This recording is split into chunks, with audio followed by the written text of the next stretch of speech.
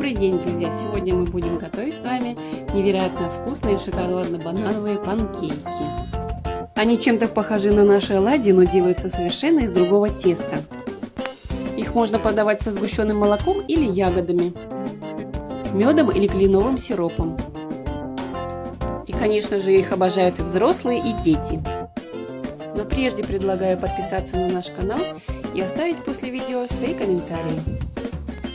Итак, нам понадобится один банан, 1 треть стакана сахара, 2 столовые ложки какао, пакетик ванилина, 2 яйца, 2 трети стакана муки и 1 столовая ложка молока.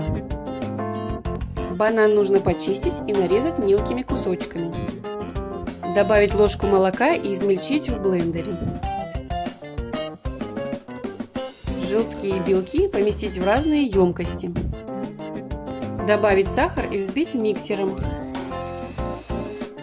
Масса должна увеличиться два раза. В емкость с белками добавляем муку. А бананы и какао добавляем к желткам. Аккуратно перемешиваем, чтобы тесто не опустилось. Тесто получается очень пышное и воздушное, немного сладкое. На горячую сковороду наливаю немного масла и выкладываем первый слой панкейков. Когда они немного обжарятся, добавляем еще немного теста. Накрываем крышкой и печем на медленном огне.